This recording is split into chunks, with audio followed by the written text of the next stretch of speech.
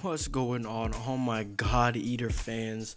So it's been way too long since my last God Eater video, and I thought I needed to change that.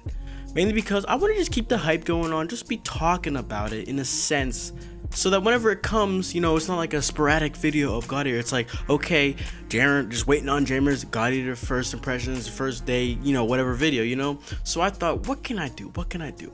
So I thought I'll do a series of just, I want to say recapping on the God Eater just franchise in a general, you know, so this can help new people um, new subscribe. Maybe some some of you subscribers don't know what it is, but plan on getting it. Maybe some of you old ones, you know, some nostalgia, and maybe I can teach you something that you didn't know. But I do know most God Eater fans out there are hardcore God Eater fans. Like, so maybe I won't really teach you anything, but you know, it's a thought that counts. But you never know. Anyways, so so for the first uh, video I thought I would do, I said, why don't we compare since this this first game of God Eater has so many lives, I said, why don't we compare it to each other? So what we're gonna do is take God Eater, compare it to God Eater Burst, and then compare it to God Eater Resurrection. So just do it. So for starters, God Eater, yes, God Eater is a game. It's it's like a it's the real. It was a thing. You know, it's the very first one. No burst, nothing. God Eater. So I'm just gonna go ahead and tell you what the what the differences are between God Eater and God Eater Burst. So for the differences, God Eater Burst added an extended storyline which expands the story a little bit, which this took it from 45 missions in God Eater to 75 missions in God Eater Burst, with an extra 25 extra challenge missions. Now, I left out some kind of boring and really, really detailed stuff, but I thought I'd just mention this because I didn't write it down.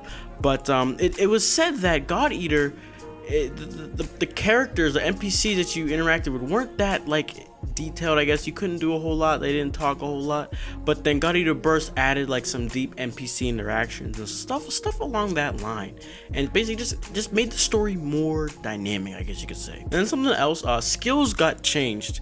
Uh, in God Eater, there are different different levels of attack bonuses, while God Eater uh, I say God Eater Burst, there's only one level for each attack bonus. Now, that would only make sense to some real deep God Eater, you know, fan. So just yeah.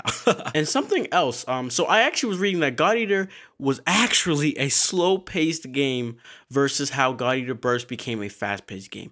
And that is due to the gameplay being more for God Eater's gameplay was more focused on using ridiculous damage of of the guns. Uh, their bullets were so so so so good. They did so much damage, and so it was better off to use your guns versus your sword because not only did the guns do a lot of damage, but they didn't cost too much bullets. While now uh, for God Eater Burst to change that, they basically made it the bullets where they did not, they weren't so powerful and they cost a lot more uh, bullets, I guess you could say. And then they buffed swords in burst mode, so basically melee became the better option to use to efficiently take down these Aragami. Something else cool was many new equipment was added. They basically doubled the, the costumes and equipment that uh, you could get in God Eater burst.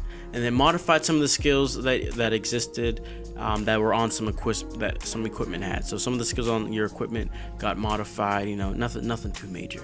And lastly all of the god eater dlc was added into god eater burst plus some new missions missions along with a new monster which i'm not exactly sure which monster which aragami was uh, new in god eater burst.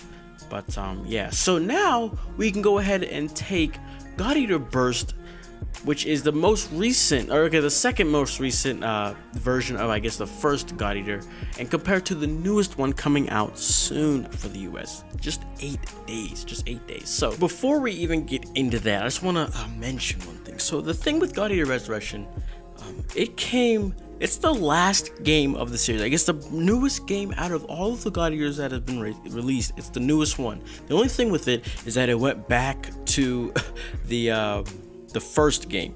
But the thing is with that, um, it introduced some th new things that aren't in any other gravity rushes. Okay, uh, now, while God Eater 2 Rage Burst introduced new things that weren't in, in uh, that weren't in what you call it, the God Eater series before, God Eater Resurrection added even newer stuff. But the thing is with that, it did not retain, it did not bring back the new stuff added in God Eater Rage Burst, as in like the new mechanics, only the weapons and things like that.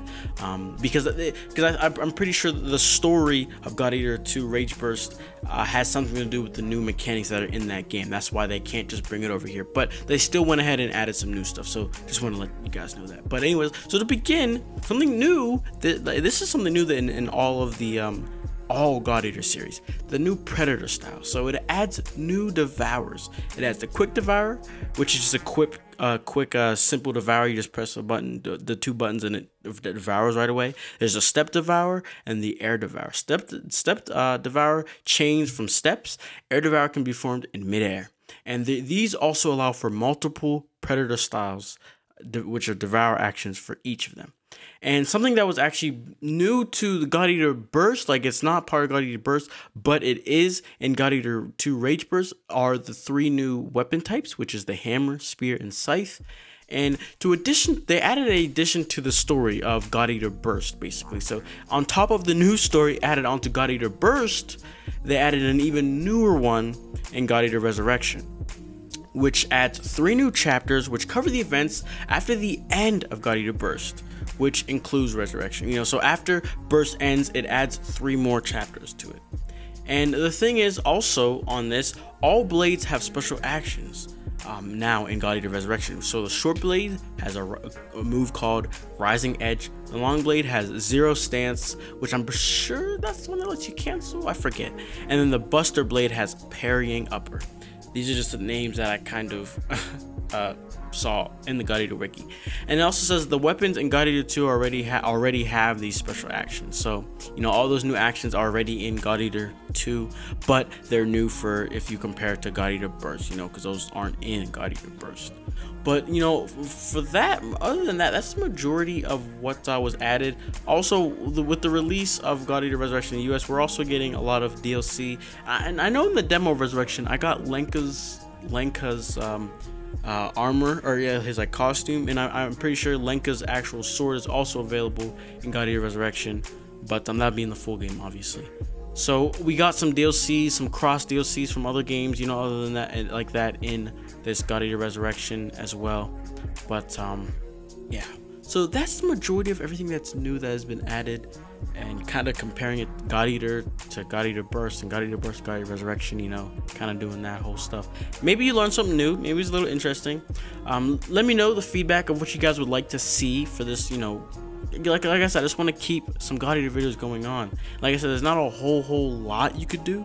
So I'm thinking maybe next time we can talk about the story of God Eater, just to get people up to par with, you know, the whole God Eater universe, you know? Let me know what you guys think in the comments below, please. I'd really, really appreciate it. Be sure to leave a like if you did enjoy because that would really let me know that this is a beneficial, meaningful series, whatever you want to call it. But other than that, thank you guys so much for the support lately. But um, other than that, I will see you guys in the next God Eater video. Be sure to subscribe for more. Peace.